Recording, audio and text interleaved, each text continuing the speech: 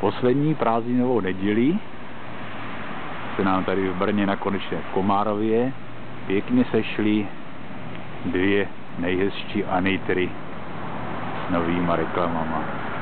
Fluorka a tady ta parfémka. Tu mám na první devíce a jsou velice, velice spokojený. Tak doufám, že na to vydrží. Před námi je dvanáctka, za chvíličku odjíždí a já si jdu vypít svoje ranní kafíčko ještě. Ještě vám ukážu zvenku. Teďka na sluníčku je to přece uvědomili vidět. No, vydařená reklama, vypadá to pěkně. Je to pěkně z černé do takové té růžové. Ale vůz je to hezký.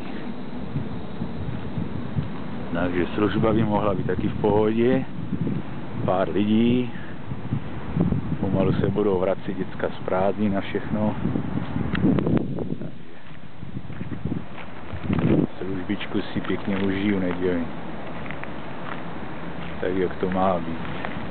Když je dobrý vůz, dobrá služba, pohoda, tak profesionáli práce baví. To by mělo být krédem každého dopraváka.